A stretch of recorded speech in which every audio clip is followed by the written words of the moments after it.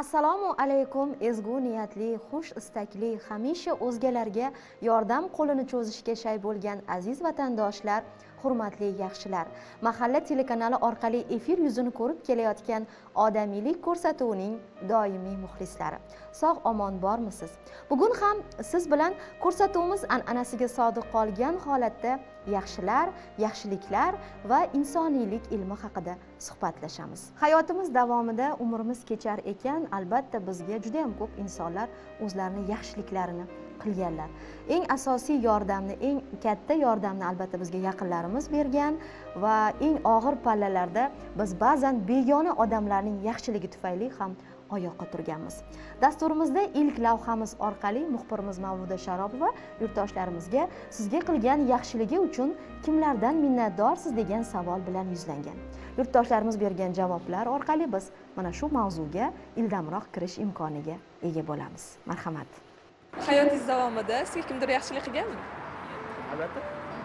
Jamiyatda yashaymiz. Hamma bir biriga yaxshilik qilishib aha bizda shunaqa imkoniyat bor odamiylik ko'rsatuvi mahalla telekanali o'sha sizga yaxshilik qilgan insonlarga kamera qarshisida minnatdorchiligimizni bildirishingiz mumkin avvalambor birinchi birinchi o'rinda ota onamga rahmat aytmoqchiman qarin qardoshlarimga akalarimga undan keyin o'qituvchilarimga ayniqsa birinchi o'qituvchim ozod aka institutda samida opaga barcha barchasiga rahmat aytmoqchiman rektorlarimga rektorlarimga onajonimdan sizga shunaqa imkoniyat rahmatlaringizni kamera qarshisida aytishingiz mumkin onajonim bergan tarbiyasidan sabr qilib shuncha qilgan yaxshiligidan kattakon rahmat aytaman. Onajonimni juda ham yaxshi ko'raman.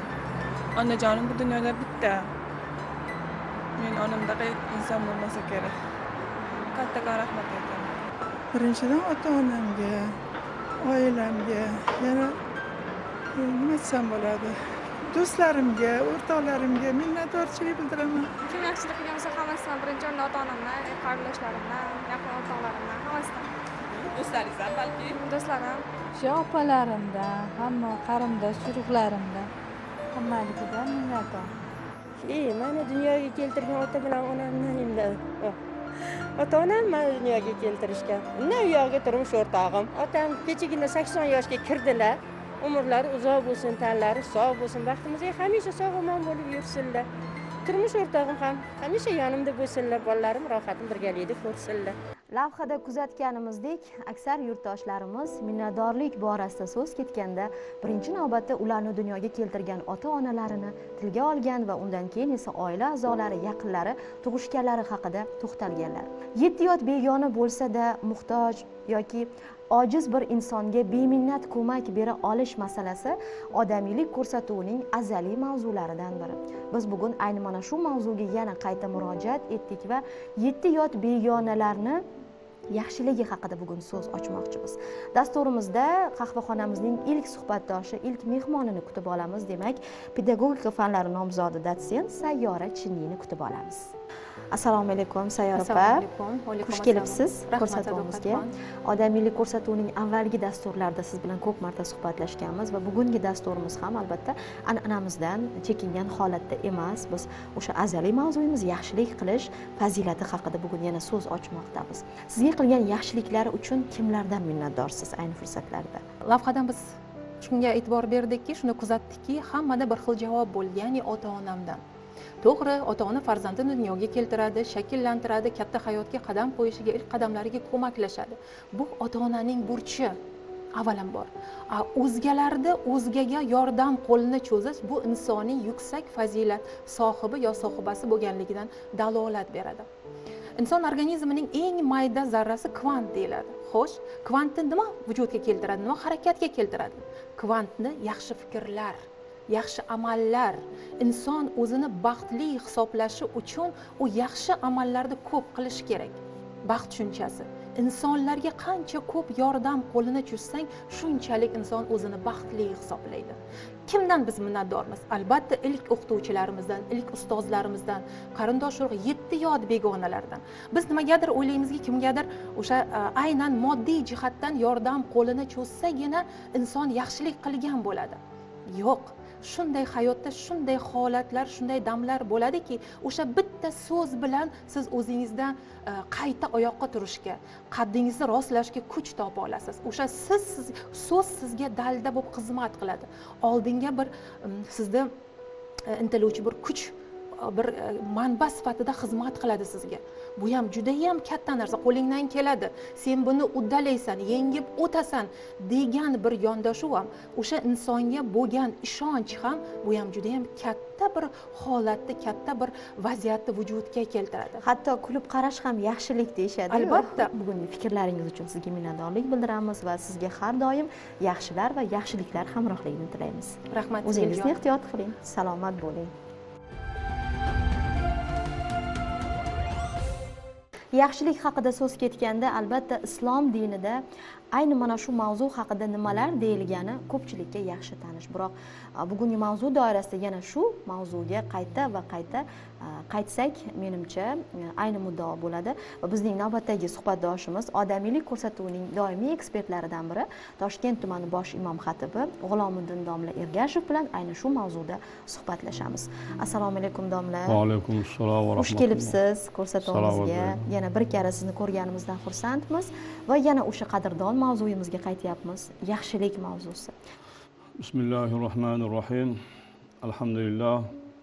Vassalotu vassalamu ala rasulilloh amma ba'du assalomu alaykum va rahmatullohi va barakatuh.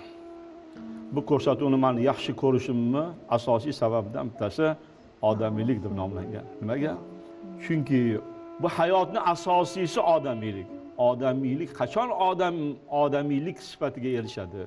Qachon uni hayoti yaxshiliklar bilan insonlarga muhabbat bilan muruvvat bilan siylay rahm bilan yordam bilan butun sog'inchiyu niyatiyu har bir qilgan harakati insoniyatga yaxshilik bo'lsa bu odamni nima deyiladi odamiylik sifatiga ega inson deyiladi. Alloh taolo qur'onni ushbu o'qilgan oyatni davomida yetim yesinlarga yaxshilik qilishlik. O'z yaxshi ko'rgan molidan yaxshilarga. Birinchisi zavil qurbo deb keladi. Zavil qurbo ota onaga yaxshilik qilishga farzandmi? Dunyoga kelishiga sabab bo'ldimi? Yedirib ichirib jonini fido qilib katta qildimi? U insonlarni qarzini u insonlarni qilgan yaxshilikni u dunyo bu dunyoda farzand ado qilolmaydi. Eng birinchi yaxshilik demak inson zotidan ota onasiga yaxshilik qilish kerak. Val yatama val masakin deydi alloh taolo va sabil va sailin. Yetimlarga bevayu bechoralarga muhtojlarga faqirlarga so'rab kelguvchilarga. Inson muhtoj bo'lmasa so'ramaydi. Demak muhtoj ekan so'rar ekan janobimiz rasululloh bir hadislarni oxirida bir gap aytganlar. Innalloha taala fi aunil abd. Hatta abd fi auni axih bir insonni boshiga muhtojlik bir insonni boshiga musibat chiqdi. Yelkadosh bo'lib borimizni jonimizni fido qilib molimizni yaxshi so'zimizni o'tayotgan soat kunlarimizni shu insonni boshidan mashaqqatni ketkizishga g'am tashvishlarni ko'tarishga uni dardiga bir darmon malham bo'lishlikka sarf qildik. Nima bo'ladi? Desa eh, a innalloha taala fi aunil abd. Shu bandani yordamida shuni xizmatida yurgan vaqt onlar soatlar ibodat bo'ladi. Va alloh taolo shu bandaga yaxshilik qilgan bandaga u bandaga qilgan yaxshiligiga nisbat barobar yuzlab minglab yaxshiliklarni alloh taolo bandasiga ato qiladi. Ota onalarimiz ham ustozlarimiz ham farzandlar uchun jonni qurbon qilgan mehri muhabbatini butun borlig'ini farzandlarga va bu yurt bir biriga butun borini sarf qilgan butun borini tikkan bir millatmiz. Barcha xalqimizni barcha millatlarni bir biriga insu ulfatda muhabbatda doimo yaxshilikda bo'lishlarini alloh nasib qilsin rahmat domla. Va ayni fursatlarda yaxshilik qilish mavzusi haqida so'z ochilgan ekan. Biz begonalarning hayotiga yoki ular bizni ko'magimizga muhtojmi yo'qmi degan bir savol atrofida qanchalar qayg'uryapmiz qanchalar bosh qotiryapmiz degan haqli savol bosh ko'taradi.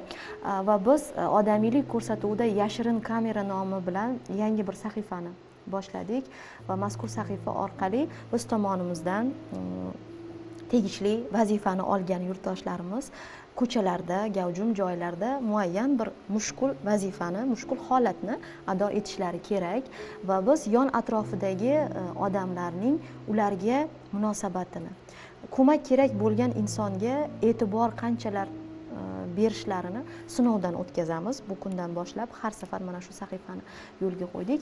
Sahifamizning ilk sonini hozir sizning guvohligingizda tomosha qilsak domla va menimcha mana shu sahifa orqali ham yurtdoshlarimiz juda katta xulosalar olsalar ajab emas marhamat.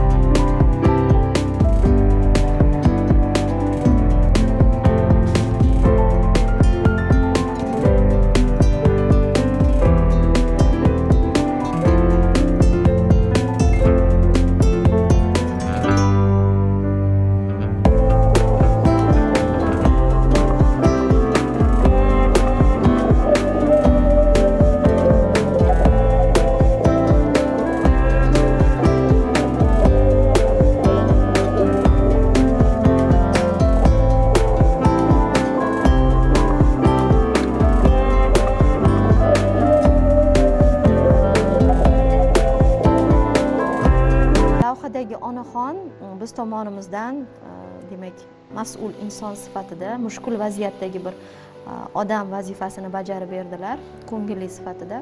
Mana shu jarayoniga kimdir e'tibor qaratadimi kimdir ko'mak beradimi degan e, savol atrofida biz izlandik va juda xafa bo'ldik rosti domla. Chunki aksar yoshlarimiz e'tiborsiz holatda o'tib ketishmoqda. Onaxon hattoki qo'llaridagi yuk bir necha marta tashlab yuborildi. Qo'llaridan tushib ketgan manzara hosil bo'lishi uchun e'tiborsiz holatdagi odamlar o'zlarini yumushlari bilan band holda ketib boryapti.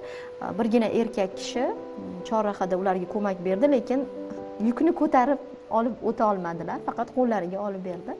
Va birgina ayol so'nggi lahzalarda bir qalbimizda bir umid paydo bo'ldiki demak yaxshilik hamon bor. Hamon odamlar bir biriga befarq emas degan umid paydo bo'ldi lekin mm, afsus bilan aytamiz bu ayol ham deyarli qahramonimiz bilan yosh jihatdan tengqur ayol edi. Nima deb o'ylaysiz domla?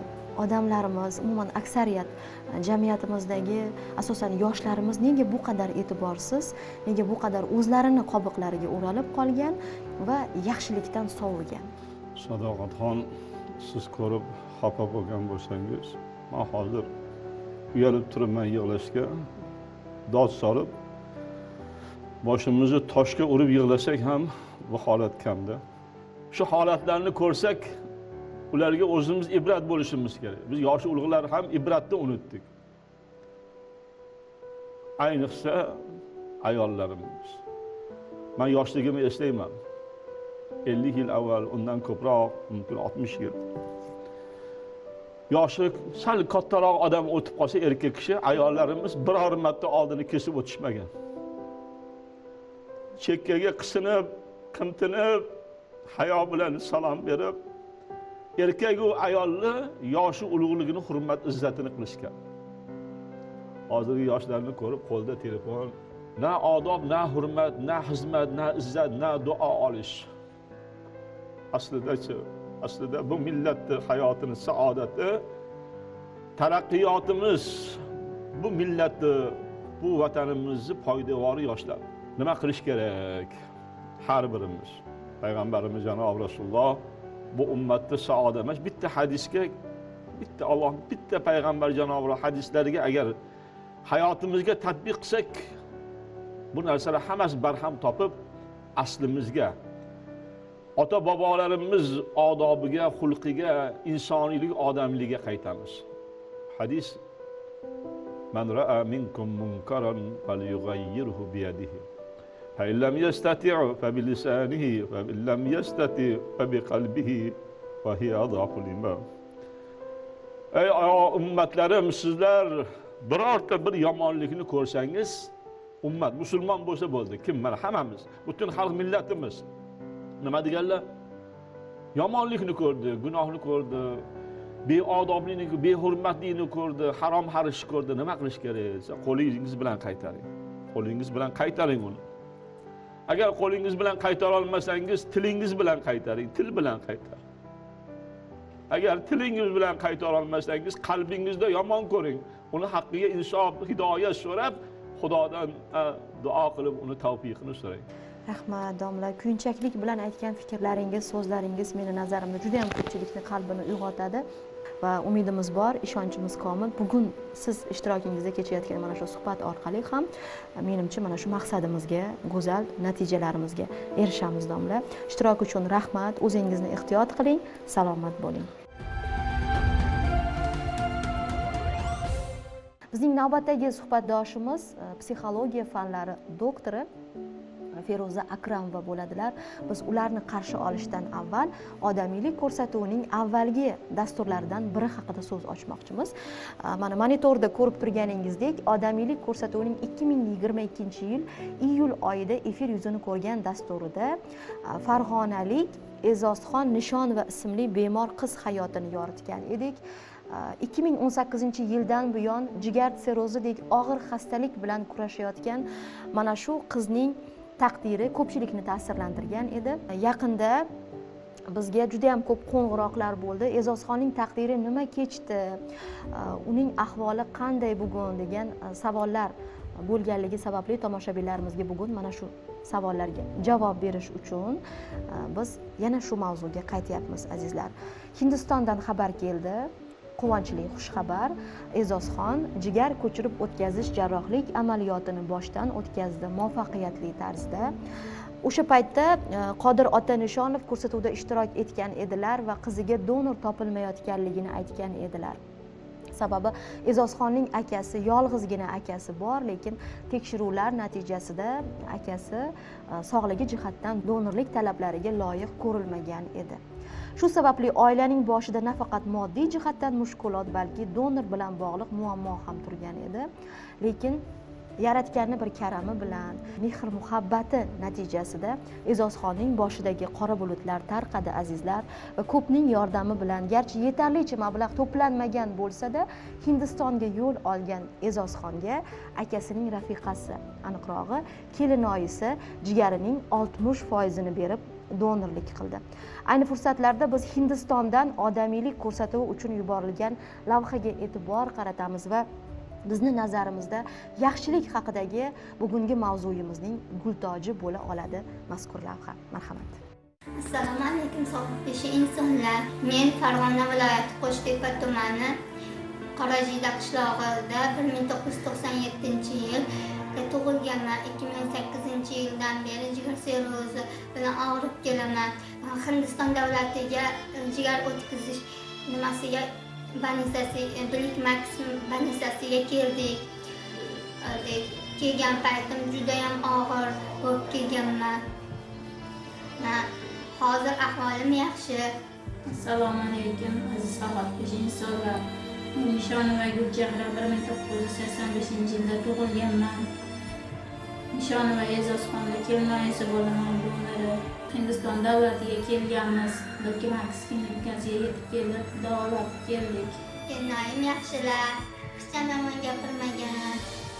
Meni o'z singlisidek ko'radi men opamdek ko'raman kelinoyimni onam yo'qligini bildirmadilar. Madrasaga kirib ketib turganimda kalima keltirdim keyin o'zimga ishonch.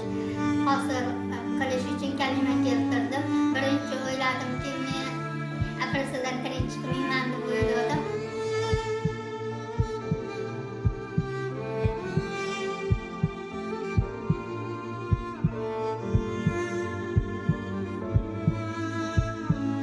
bir insonni saqlab qolishim uchun o'zlari rozi bo'ldi. Bu qizni ko'ziga qarab o'lib ketishiga qarab turolmayman lekin hech qachon opasi yo'qligini bildirmaslikka harakat qilib keldim.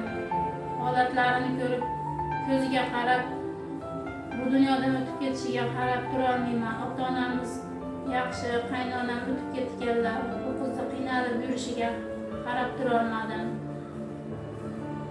Bu juda jiddiy edi. Chiqqan paytim kelinoyimni so'radim aka aka deyishdi zo'r zo'r deyishdi men ko'raman deb turib oldim. Ertaga ko'rasan deyishdi ertasi kuni ham kelinoyimni so'radim o'zlari olib chiqishib ko'rsatishdi. Operatsiyaga kirib ketayotganda allohga tavakkal qildim shu qiz uchun jonim atab ketganiga xursand bo'lib allohga tavakkal qilib yaxshi yorug' yuzlardan chiqishni xohlab kirib ketganim allohga shukur yorug' yuzlar bilan chiqdim. Ko'zim ochganimda qaynisinimni holatini so'radim. Yaxshimi? Holatlari tuzukmi? Desam hammasi zo'r xudo xohlasa hammasidan yaxshi o'tib olding dedi. Aziz saxovatpesha insonlar yordamlari bilan shu yergacha yetib keldik. Butun o'zbekiston ahliga saxovatpesha insonlarga bizni duo qilib yurganlarga umid opamga muhsin akamga keyin fezanga mursalinga kattakon rahmat aytaman. Kelinoyimga alohida alohida minnatdorman. Yana ozgina mablag'imiz yetmayapti o'shanga yordam berib o'zbekistonga qaytib keldik kelinoyim ikki yoshli bolasi bor. Judayam yig'layapti. Iltimos yordam beringlar. Sohotpesha insonlar sizlar orqali kelodislar orqali o'zbekistonga yetib olishimiz uchun ozgina ko'maklaring kerak. Omin. Allohu akbar. Haqiqatda e, hammamizni ta'sirlantiradigan judayam e, juda juda kam uchraydigan hodisa. Nafaqat odamiylik ko'rsatuvi tarixida balki biz eshitgan hikoyalar orasida qaynisinglisi uchun e, jonini xatarga qo'yib jigarining oltmish foizini bergan kelinoyi haqida ilk marta eshitdik va bu voqea meni nazarimda juda yam ko'pchilikka ko'pchilik ayollarimizga haqiqiy ma'noda saboq bo'la oladi. Endi esa mana shu voqea haqida va umuman bugungi mavzu haqida yanada ildamroq yanada mufassalroq suhbatlashish uchun suhbatdoshimizni taklif etamiz. Psixologiya fanlari doktori feruza akramovani kutib olamiz. Assalomu alaykum. Feruza opa xush kelibsiz ko'rsatuvimizga inson qalbi bilan ishlaydigan mutaxassissiz. Meni nazarimda e, bir necha daqiqalar avval namoyish etilgan lavha sizni ham qalbingizni qaysidir ma'noda junbushga keltirdi. Va ayni mana shu ko'rsatuvni shu nuqtasida siz bilan suhbatni reja qilganimiz bejiz emas. Nima deb o'ylaysiz? Yaxshilik tushunchasi ko'proq ildiz otishi uchun qalbimizda va biz hammaga mehrimizni boricha berishimiz uchun qalbimizda ruhiyatimizda nimalarni tarbiyalashimiz kerak? Haqiqatdan ham e, man ham shu nimani ko'rib judayam ta'sirlandim. Gulchehraxonni qilgan yaxshiligini hech narsa bilan o'lchab bo'lmaydi. E, chunki odamiylikda bilasizmi o'zini tanasidan tanasidagi organidan qanchadir bir qismini berib turib o'zidan voz kechishi hamma ham qila olmaydi. Siz hozir aytayotganingizdek hatto bir qondoshlar ham shu narsani amalga oshirmaydi. Demak e, biz mana shu ekran orqali gulchehraxondek insonlarimizni so'z bilan qo'llab quvvatlash bilan ularni ko'ngillariga malham berishimiz kerakda va ularni qilgan bu ishlari qanchalik jasorat ekanligini odamiylikni oliy ko'rinishi ekanligini ham e'tirof etishimiz kerak. Qo'lingdan kelgancha yaxshilik qilgin jahonda shul mehr sabab qoladi. Shunday yashagilki sen bo'lsang sharqda seni duo qilsin odamlar g'arbda. Shamdek bo'l shamni ko'r kuyib qalbutan o'zgalar bazmini qiladi ravshan. Bulut bo'l suv berib quyganda yomg'ir yerni ham suvni ham sug'orar bir bir har kimga omonlik istaguvchi bo'l. Bunda adovatga qolmagay hech yo'l dedi bu satr bekorga aytganim yo'q. Mana hozirgi daqiqada shu esimga tushdida buni bekorga aytganim yo'q. Qarangda biza adovatni ko'paytirsak yaxshilik yo'qoladi. Qayni singlisiga yaxshilik qiladigan nafaqat so'zi bilan nafaqat o'sha qiladigan oiladagi yumushi bilan balki o'zini tanidagi o'sha a'zosidan shuncha qismini olib berib turib shuni hayotiga tikyaptida bu juda katta jasorat. bu juda katta jasorat. Bu yerda meni nazarimda ko'rsatuvni ko'rayotganlar va mana shu oiladagi mehrni oqibat haqida xabar topganlar menimcha o'zlarini imkonlari boricha e'zozxonga yana ko'mak beradilar va bu oilaga ko'mak kerak yana azizlar va ekranlaringizda ko'rinib turgan plastik karta raqamlariga o'zlaringizni ehsoningizni va mana shu orqali mehr muhabbatingizni e, gulchehra opaga tashakkurlaringizni odamiyligi uchun jasorati uchun minnatdorligingizni ham yuborishingiz mumkin. Lekin chorasiz holatdalar to'g'ri dard ortga chekingan lekin yelkada qarzdorlik yuki bor. Bu yukdan xalos bo'lmagunlaricha ular vatanga qaytisha olmaydi azizlar.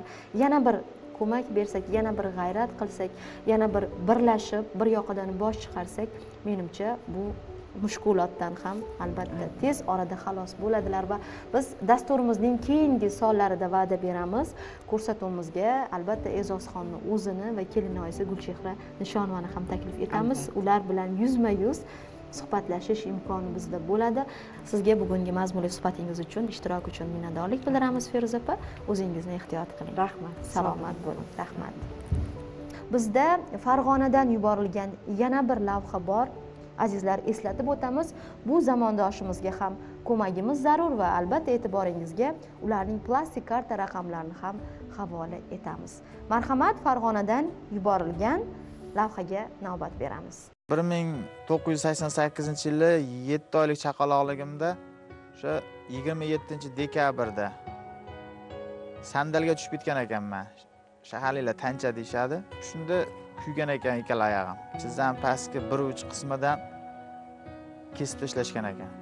Saqlab qolishga rosa harakat qilishgan farg'onaga olib borishgan toshkent hatto moskva leningradgacha olib borishgan ekan meni. Ikki ming beshinchi yili keyin toshkentga bordim. Shunaqa protez masalasida yordam qilinglar protez olib beringlar dedim. O'zimizda unda tuman ijtimoiy ta'minot bo'limida hurmat opa degan opa ishlardi. Shu kishini yordami bilan birinchi protezni o'sha ikki ming beshinchi yili kiydim. Shundan shundan keyin ikki ming beshinchi yildan keyin bir olti oymi yetti xolos u protez kiydim уже sindi hech qancha kiymadim lekin o'zim boshqacha bo'lib ketdimda. Ko'chada yurish menga qulay bo'ldi. O'rtoqlarimni oldiga chiqish shunga o'rganib qoldim moslashib. Endi mana bu holatda ko'chaga chiqishga uyatib ham qoldim.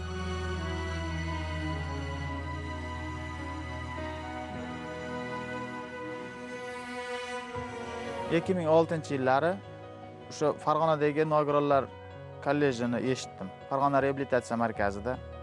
U yerda yusuf ergashevich zafarjon rustamjon degan proteznik ustalar bo'ladi. Shu kishilar juda qattiq minnatdorman shu odamlardan yaxshi hurmat qilaman. Shu odamlar meni yurgizishdi. Protez kiyib yurgizishdi o'sha emsovni aytishdi. Endi emso deyishadi nogironlar kolleji. O'sha yerda o'qidim. Ikki yil radio televizion bo'limida. Shu vaqt davomida keyin kurslarga qatnab kompyuter mutaxassisligini oldim. O'z o'zidan o'qishni bitirdim. Protezim zo'r. O'sha ikki ming to'qqizinchi yili olgan protezim o'sha nogironlar jamiyati tomonidan olib berishgan edi. Hokimiyatdan xat qilingan. Yuz foiz bepul berilishgan u paytda protezni oldim keldim. Сразу ishga kirdim. Ishladim to'rt yil kompyuter sohasida. Ikki ming o'n ikkinchi yilda uylandim. Ikkita farzandim bor. Kattasi uchinchi sinfda o'qiyapti. Undan kichkinasi uch yosh bo'ldi. Batamom ko'chaga chiqib ketdimda endi yaxshi ma'noda o'zimni sog'lomdek his qilib yubordim. Hech qanaqa hamma sog'lom o'rtog'im nima qilyapti? Ishlayaptimi? Men ham ishlayapman. Oilasiga nimadir ko'tarib kelyaptimi? Meni ham xuddi shu narsa bor. O'zim yetishtirgan masalan asal bor bo'ladimi yo teplitsadagi bir narsalar hammasini ko'chaga bemalol olib chiqdim. O'zim bemalol yurdim to'y bo'ladi boshqa bo'ladi o'rtoqlar ichida. Hammasi qo'ldan kelgancha bo'ldi. Bearmon edim o'sha paytlarda.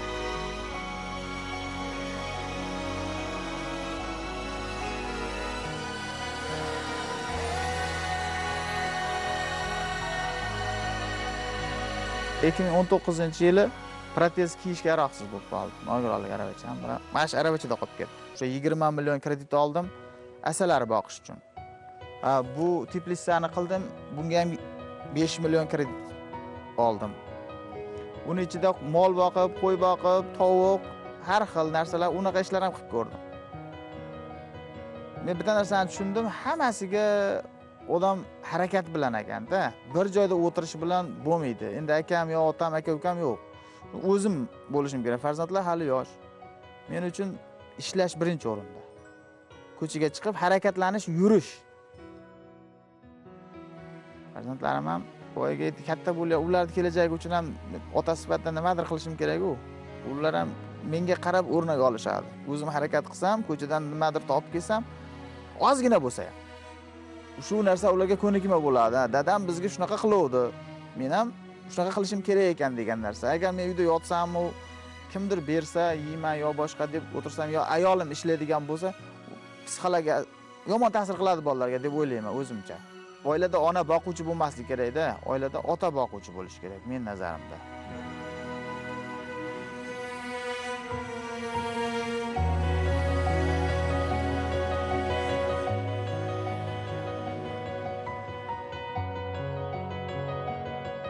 Ikki ming yigirmanchi yili o'zimda ozgina ehtiyotsizligim tufayli yiqilib tushdim. O'sha o'ng oyoq son suyagim sindi. O'sha katta son suyagi tars bo'linib ketdi. Ikkiga to'qqiz soat operatsiyadan chiqdim to'qqiz soatda. Endi onamni ichidan o'tgani u oilamiz bilmadim endi dahshatga tushdida. Shu vaqt davomida olti oy bir joyda yotdim davolandim. Yana turdim maqsadim yana o'sha protezni kiyib yurish.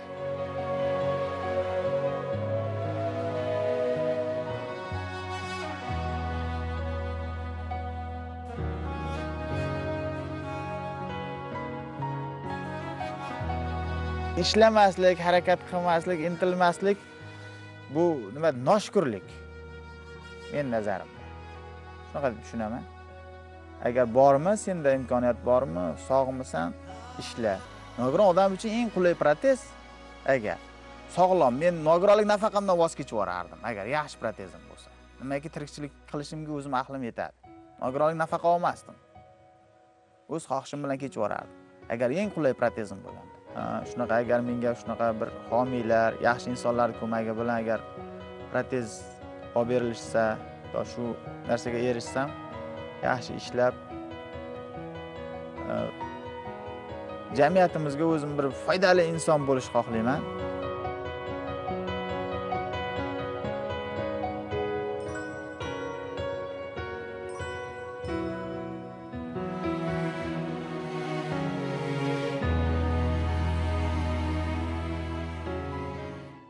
Mana azizlar yana bir chehrasida baxtiyorlik balqib turgan yurtdoshimizning hikoyasini tingladik. Agar yurtdoshimizning aravachada o'tirgan holatini ko'rsatmasak men to'la ishonaman. Bu insonning nogiron ekanligini hech kim sezmaydi payqamaydi. Jumayev o'lmasjon ismli mana shu zamondoshimiz. Ijodkor yurtdoshlarimiz orqali xabar topdik va nimadir orzulari bormikin? Э, degan savolimizga mana shu agar protez oyoqlarim bo'lganida edi degan e, bir istakni orzuni gapiryaptilar to'lqinlanib. Azizlar biz ko'pchilikmiz yaxshi odamlar ko'p. Bugun mavzuyimiz yaxshilik haqida ekan. E, ko'ngli buzuq ko'ngli ozorlangan bizni mehrimizga yordamimizga muhtoj bo'lgan miskinlar mm, masalasida ularga ko'mak ko'rsatish haqida ekan. Mana bizga imkoniyat yaxshilik qilishga o'zga insonlarga ko'mak berishga ularni qalbini va shu orqali hayotlarini obod qilishga juda katta imkoniyat berilyapti. Bugun ko'rsatuvimiz orqali bir nechta xayriya lavhalarini e'lon qilyapmiz va bu xayriya lavhalarimiz qahramonlari shunchaki muhtojlar emas. Ularni har biri inson sifatida ibrat ko'rsatayotgan ibrat sohiblari odamiylik sohiblaridir. Shuning uchun biz ularni yanayam to'laqonli baxtiyorlikni his qilib yashashlari uchun ko'mak berishimiz kerak.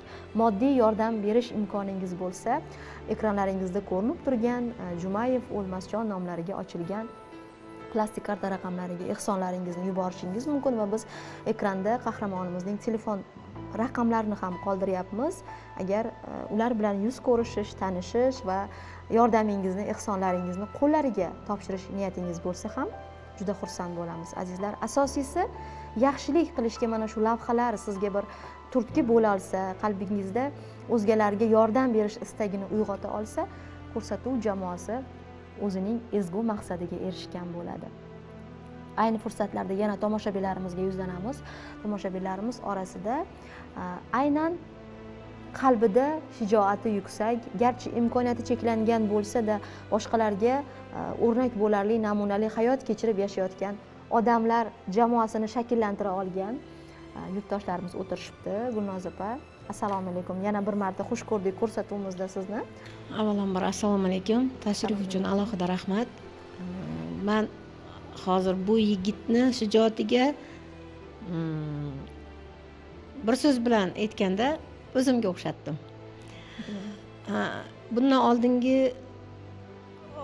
kel noisi va singil to'g'risidagi lavhani berganingizda hali boshqa tomoshabinlar qatori man ham o'zimni ichimdan sim sim yig'lab o'tirdim. Sababi qarang ko'zlari ma'yus qiz faqat dardimni qanday yengar ekanman demasdan oldiga maqsad qo'yganki man kelgusida ustoz bo'laman. Demak bu ustozlikni tagida odamlarga ilm ulashaman degan yaxshilik turibdi. Va shu yaxshiligini niyatini orqasidan mana e, kelinoyisi o'sha qaynsinglisiga jigar ko'chirish operatsiyasiga rozi bo'libdilar. O'zlari balki tashabbus bilan chiqqandirlar. Man aytmoqchimanki bu gulchehraxonga hmm, man hozir e, rahmatlarimni aytsam birinchisi jigarlarni bir biridan judolikdan asradi. Chunki agar bu inson jigar ko'chirish operatsiyasiga yordam bermaganida qaynsingil olloh ko'rsatmasin omonatini topshirsa turmush o'rtoqlari baribir jigar judoligidan to'la to'kis hayot kechira olmasdilar. Yarim siniq ko'ngil bo'lib qolardilar. Va ikkinchisi e, e'zozaxonni orzulari armonga aylanib o'zi bilan birga ketgan bo'lardi. Hozir uchta odamni qutqardilar. Birinchisi e'zozaxonni hayotda saqlab qolgan bo'lsalar ikkinchisi turmush o'rtoqlarini o'zlarini turmush o'rtoqlarini singil judoligidan asrab qoldilar. Va bu bilan birga eng kattasi o'sha o'zlarini baxtli hayotini saqlab qoldilar. Buni orqasidan farzandlarini kelajagi turibdi. Ota turmush o'rtoqlari yonlarida suyanch bo'lib turishsa bular gulchehraxon bilan o'sha farzandlarini baxtli oyoqqa turg'iza oladilar. Shuning uchun gulchehraxonga alohida rahmat demoqchiman. Bu yigitni hali bitta so'zlari bilan e, kimliklarini aytdilar. Man agar turib yura olsam butun boshli o'sha davlat manga ajratayotgan nogironlik nafaqasidan voz kechgan bo'lardim. Shu so'zni o'zi shu jumlani o'zi bu yigitni ichida qanaqa shijoat qaynab turganini bildirib turibdi. Va umid qilamanki shu ko'rsatuvni ko'rib yigitni shu so'zini eshitgan har bitta moddiy imkoniyati bor akalar ukalar borliqki imkoniyati bor insonlar shu ukaga turib yurish baxtini boshqatdan nasib qiling. Shuning uchun man bu yigitga o'sha shijoatingiz o'zingiz bilan har doim hamroh bo'lsin va orzu qilganingizdanda ziyoda hayotni kechiring degan bir fikrlarni bildirgan bo'lardim rahmat fikrlaringiz uchun. Aziz yurtdoshlarimiz va bizni tomosha qilayotganlar ko'rsatuvimizning so'nggi nuqtalariga yaqinlashmoqdamiz va dastur yakunida e'tiboringizga xayriya sahifasini namoyish etamiz. Bugungi xayriya sahifamiz qahramoni qashqadaryo viloyatida istiqomat qiladigan halima xurram va ismli yurtdoshimiz. Ular bir nogiron farzandni voyaga yetkazyaptilar va qolaversa bizdagi ma'lumotlarga ko'ra so'nggi paytlarda o'zlari ham og'ir xastalik bilan saraton xastaligi bilan kurashyaptilar. Shu ma'noda ularga bugun ko'magimiz judayam zarur. Bugun ko'rsatuvda halima opa garchi olis masofa bo'lishiga qaramasdan qashqadaryodan studiyamizga kelganlar. Ayni fursatlarda ularning murojaatini telefon orqali yuborgan murojaatlarini e'tiboringizga havola etamiz va ular bilan yuzma yuz suhbatlashamiz navbatdagi lahzalarda. Marhamat. Assalomu alaykum. Men qashqadaryo viloyatidan g'uzor tumanidan xuromxon halima bo'laman o'g'lim tursunov zahiriddin ikki ming sakkizinchi yilda tug'ilgan. O'g'lim 5 yoshidan keyin yurmay qo'ydi. O'g'limni hozir har 3 oyga bir marta qashqadaryo viloyati ko'p tarmoqli nevrologiya bo'limiga yotqizib chiqar edim va hozirgi eng oxirgi yotishi ikki ming o'n to'qqizinchi yil yotqizganman. Shundan beriga hozir o'g'lim o'g'limni yotqizolmayapman o'g'limni tursunov zahiriddinning e, oyoqlari oyoq poylari va qo'l poylari hozirgi kunda tortib qo'ygan, qotib qoldi o'g'limni e, har olti oyga bir marta e, respublika ona ona va bola markaziga ham olib borib shifokorga ko'rsatib muolajalar olib keladi dedim. O'g'limni hozirgi kundagi ahvoli yaxshi emas. O'g'limni o'zicha o'tirolmaydi mustaqil. Ovqatlanishi ham qiyin ovqatlanolmaydi. Mustaqil harakatlari yo'q.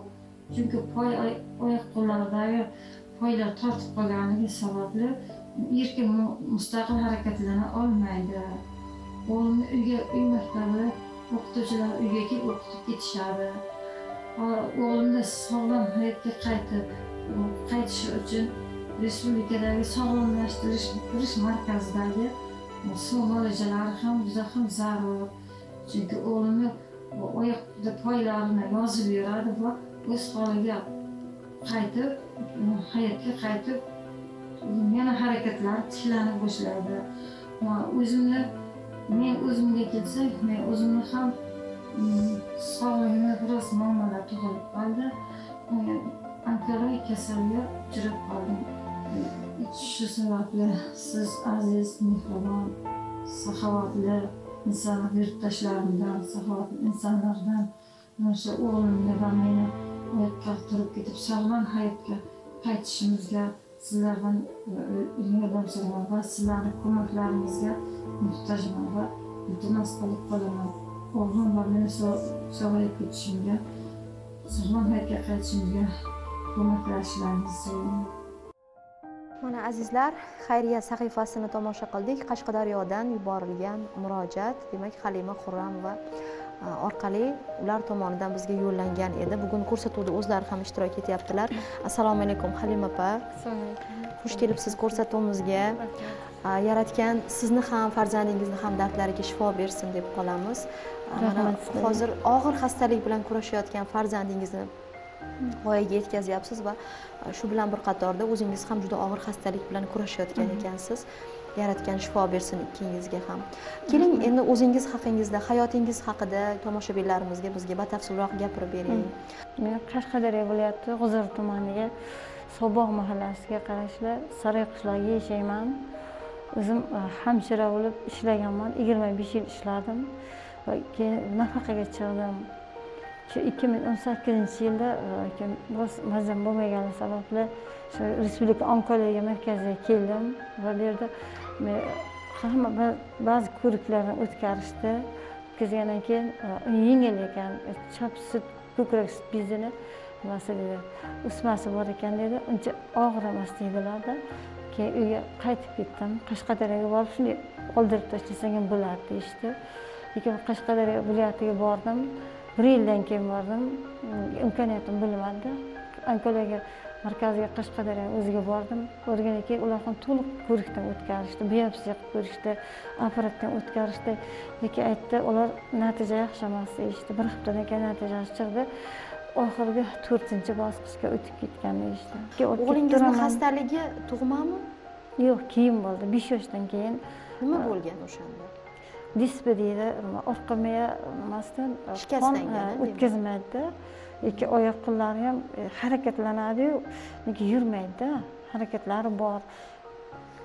Poy oyoqlari oyoq qo'llari poylari qotib qolganda qo'llari ham qotib qoldi. O'g'lingizni aqliy holati qanday? Rivojlanishi? Aqliy rivojlanishi judayam yaxshi. O'qituvchilar uy maktabga ketadi o'qitib ketishadi. Uyda ta'lim oladi, Mm. a? o'qituvchilar maqtashadi uni. Nimasi yaxshi? Xotirasi judayam yaxshi deydi. Harakat qilib ham uni oyoqlarini tuzatib nima qilib yuborgin davolagin deydi. Shifokorlar faqat u oyoq qo'llari qotganini suv muolajalari doimiy suzish maskanlari kerak deydi.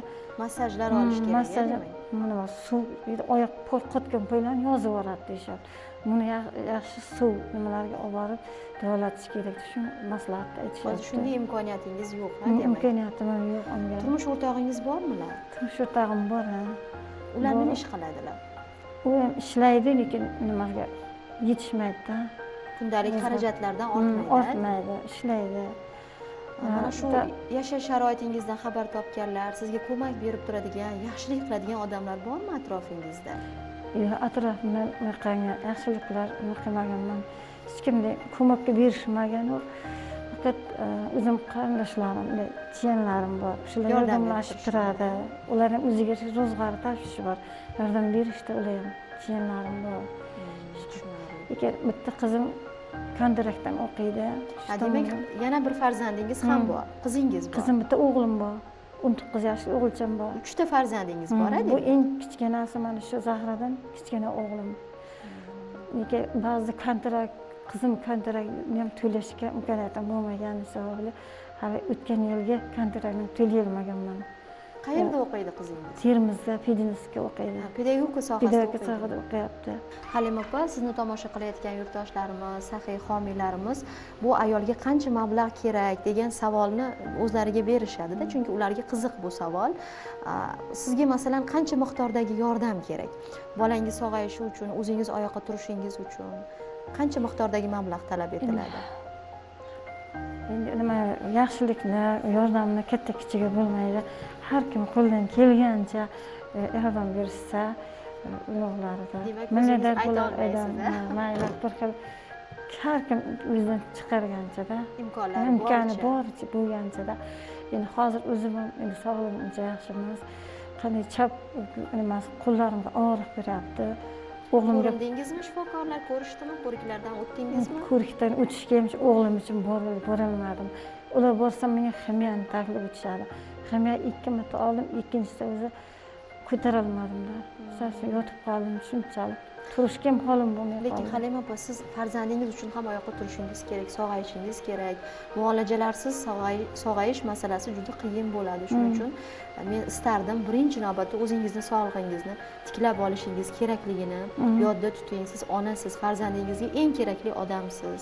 Uni e, o'sha muolajalari unga parvarish jarayonlari hammasi siz bilan bog'liq bo'ladi shuning uchun men avvalo o'zingizni sog'ligingiz haqida birinchi qayg'urishingizni so'rab qolardim va Mhm. yurtdoshlarimizdan mm, aziz yurtdoshlar muxlislarimiz bizni tomosha qilayotganlar va ko'rsatuvda har safar murojaat bilan sizga boqib turgan e, umid bilan boqayotgan e, vatandoshlarimizni qo'llarini quruq qaytarmayotgan yaxshilar bu safar ham sizning ko'magingizga muhtoj yana bir ayol murojaat bilan kelyaptilar ko'rsatuvga E, hattoki qancha miqdordagi mablag' kerak ekanligini ham andisha qilib ayta olmayaptilar lekin oilaning holati ijtimoiy sharoiti moddiy ahvoli kunday ravshan demak oilada kontrakt asosida shartnoma asosida o'qiydigan talaba farzand ham bor ekan qolaversa turmush o'rtoqlarini topayotgan mablag'lari faqat kundalik xarajatlargagina yetishini aytyaptilar istihola bilan gapiryaptilar.